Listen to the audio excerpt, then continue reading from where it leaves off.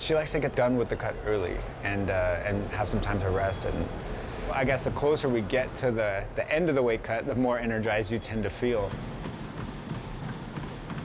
It's not her first rodeo, and uh, you know she's, she's been through this weight cut before. She's done it many times, and she's a machine, you know. And, and oftentimes I think of her as a machine. You know, she doesn't show too much emotion. She doesn't show very much weakness at all.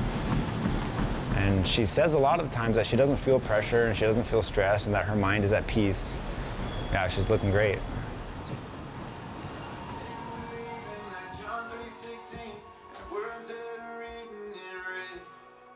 So it's weight cut night, uh, the night before the weigh-ins. Um, they're always exciting, especially with Mike. He likes to turn up that intensity, and uh, I appreciate it. I like that because he's that type of fighter, and he's got to go to that place. So I don't feel bad that he kind of turns it up a little bit and gets his mind kind of in the zone where he needs to be because this is not easy, right? He's done it a lot, but it's still not easy to cut that weight. Let's go. I like how he kind of gets a little aggressive with it, you know? He kind of attacks the weight like he fights, you know? He goes for it. He, he's very all over it and intense about it. And I love it because it just means that it's getting closer to the time where he gets to go out there and let those fireworks fly, you know?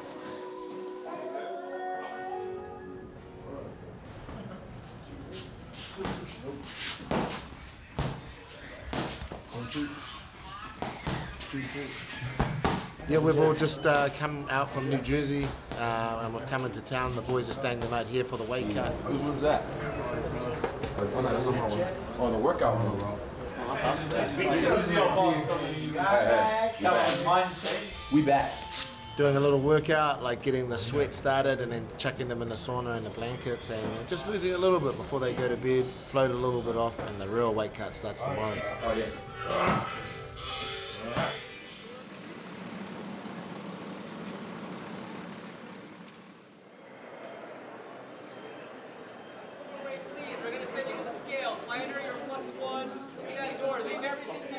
We are here in New York City. You know, we talk about the Conor McGregor effect, the Ronda Rousey effect, and how everything feels bigger when those athletes compete. There's definitely a New York City effect this week. This pay-per-view feels absolutely monstrous.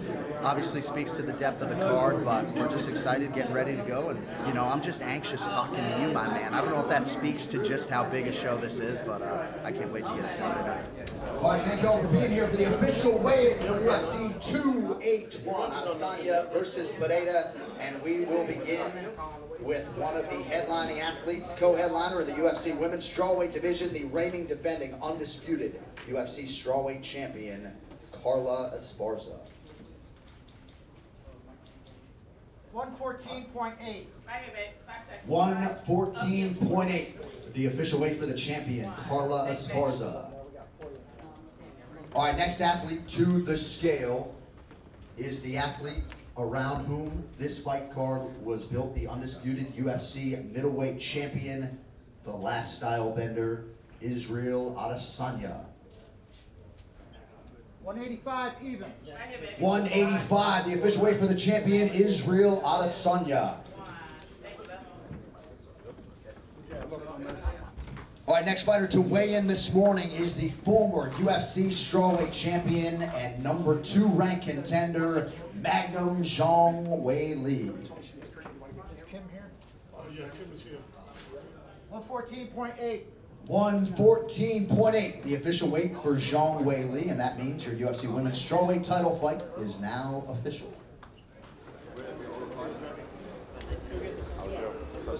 How are you? I'm very well. Hey, you feeling good? Ready to roll? Yes, sir. Congrats, man. Have fun. Break eight. What's up? How you doing, bro? Looking forward to this, man. Thank you. Have fun, bro. Have fun. All right, next fighter to the scale, taking part in his first UFC title fight, the number four ranked middleweight contender, Alex Pereira.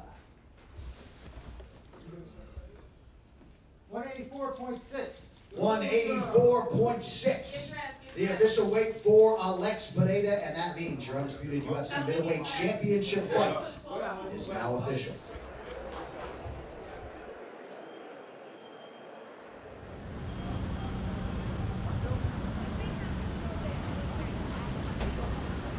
UFC fans, we'd like to welcome you to the weigh-in for UFC 281 Adesanya versus Pereira.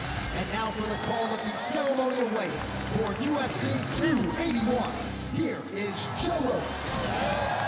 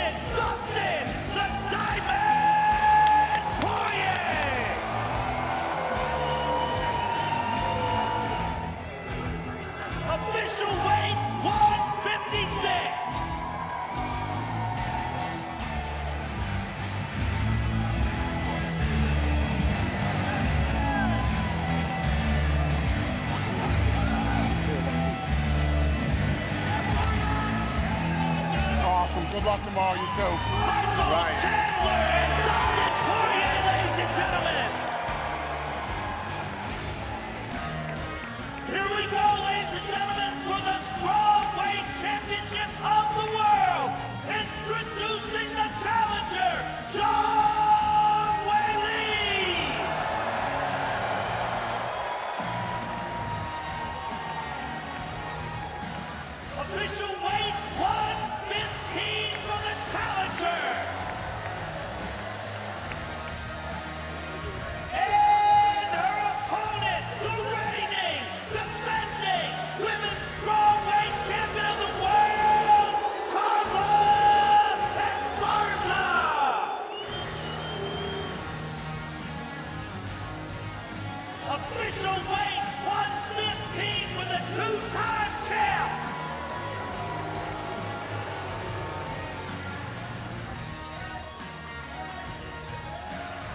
Good luck, you too.